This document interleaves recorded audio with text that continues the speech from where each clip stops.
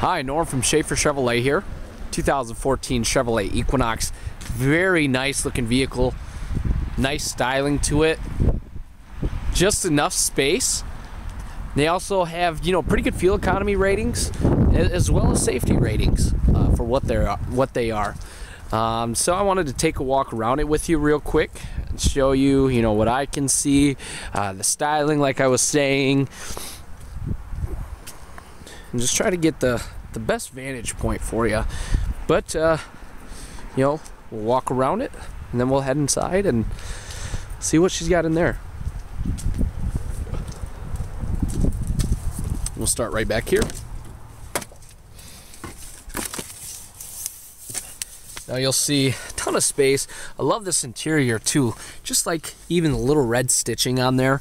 Uh, but you can fold this down, armrest, couple cup holders, 12 volt charger right down below.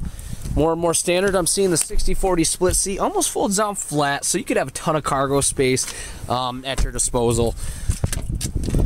Now inside, actually real quick before we go inside, 2014 Chevrolet Equinox front wheel drive 1LT we have ourselves a black granite metallic with the jet black interior. 2.4 liter, four cylinder. Now look at that, 26 combined city and highway, 22 city, 32 highway. So for a combined average of 26, you can't beat that. And four out of five stars on some of them, five out of five. Um, I'd say more, more like four and a half stars out of five, but I don't see half stars. So four stars overall, um, which still isn't bad.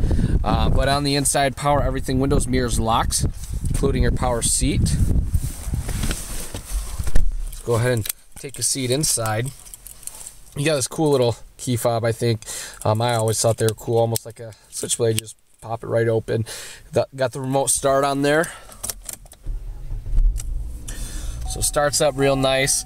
On the left here, we have cruise controls, cancel, on and off, resume and set. Back here is where you'll find your light settings, as well as your blinkers. Take a look at our gauges. Looks like somebody has it in the eco mode right now. But uh, no lights on, of course. It's a brand new car. Why would there be? On the right over here, you'll see you got your volume controls.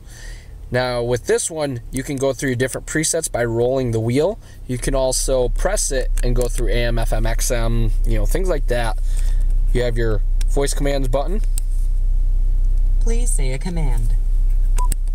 Goodbye. And your audio mute or hang up button. Now over here is where you'll find your windshield wipers. OnStar right up there in the mirror. Safety, that peace of mind out on the road is really, you know, invaluable, I think.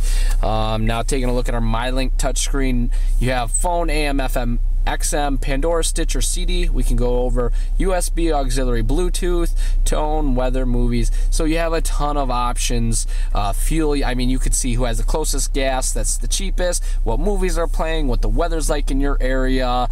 Um, you got all your presets, and you can even do everything, you know, with just these buttons down below.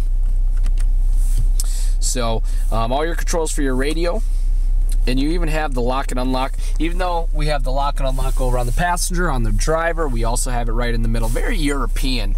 Um, got your four-way hazards child locks. And then you have our climate controls. Of course your power your temperature and the mode of where it's going to go. Now the menu button here if you take a look in the middle just by pressing up you'll go through different things. I mean you could press down as well but um, and by pressing menu switches over to option. You just see what you just seen there. Now down here we have a 12 volt charger our CD player.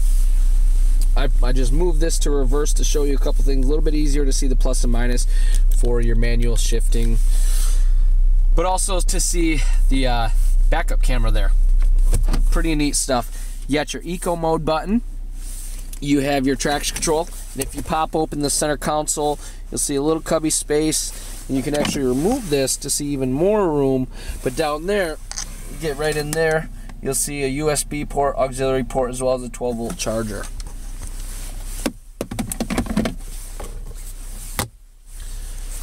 Pretty straightforward with this vehicle here once again, Norm from Schafer Chevrolet here with our 2014 Chevrolet Equinox.